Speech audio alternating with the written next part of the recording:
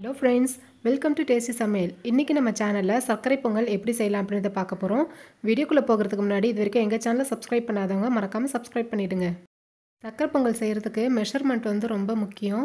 First நான் ஒரு பேனை ஹீட் பண்ணிவிட்டு அதில் ஒரு கப் பச்சரிசி எடுத்திருக்கேன். பச்சரிசி தான் வந்து சர்க்கரை பொங்கலுக்கு நல்லாயிருக்கும் இப்போ ஒரு கப் பச்சரிசி எடுத்தால் நம்ம அதுக்கு அரை கப் வந்து பாசிப்பயிர் எடுத்துக்கலாம். அதாவது பச்சைப்பருப்பு அப்படின்னு சொல்லுவாங்க. உங்களுக்கு வேணும்னா நீங்கள் கூடுதலாக முக்கால் கப் எடுத்துக்கலாம். இது வந்து இப்போ லைட்டாக வந்து வறுத்து விட்டுடலாம் இது வந்து கொஞ்சம் நேரம் அப்படியே இருக்கட்டும்.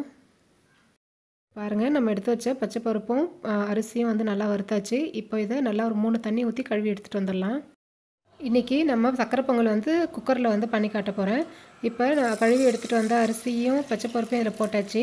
நம்ம வந்து ஒன்றரை கப் அளவு எடுத்திருக்கோம். அரிசியும் பச்சைப்பருப்பும் அதுக்கு அஞ்சு கப் தண்ணி சரியாக இருக்கும்.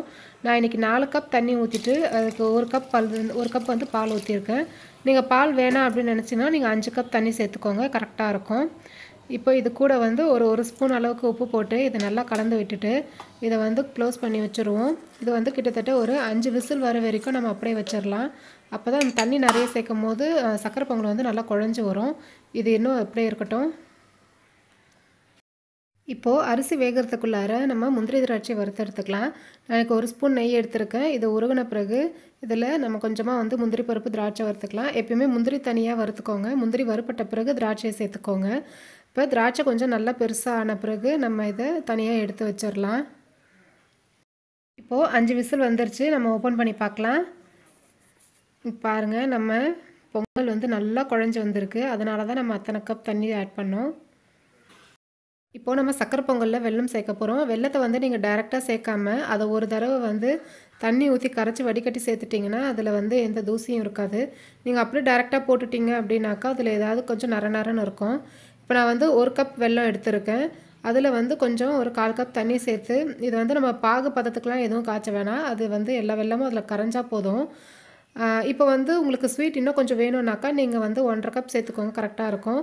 நம்ம எடுத்த அளவுக்கு வந்து ஒரு கப் வெள்ளமே வந்து சரியாக இருக்கும். அதனால் நான் இது மட்டும் போட்டுக்கிறேன். இப்போது அந்த வெள்ளத்தை வந்து ஒரு வடிகட்டியை வச்சு நான் இந்த பொங்கல் ஆட் பண்ணிட்டேன். இப்போ இதை நல்லா கலந்து எடுத்துக்கலாம். இது பாருங்கள் இப்போ உங்களுக்கு பார்க்க தண்ணியாக இருக்க மாதிரி இருக்கும். ஆனால் இது எல்லாம் மிக்ஸ் பண்ண பிறகு அதோடைய இது வந்து கரெக்டாக ஆகிடும் இது ஆறுனாலும் கட்டியாகாது இப்போது வெள்ளத்தெல்லாம் போட்டு நல்லா கலந்து விட்டாச்சு. இப்போ இதில் வாசனைக்கு கொஞ்சம் ஏலக்காய் பொடி சேர்த்துக்கலாம். உங்ககிட்ட ஏலக்காய் பொடி இல்லைன்னா நீங்கள் ஒரு மூணு ஏலக்காய் இல்லை நாலு ஏலக்காவை தட்டி இதில் சேர்த்துக்கோங்க.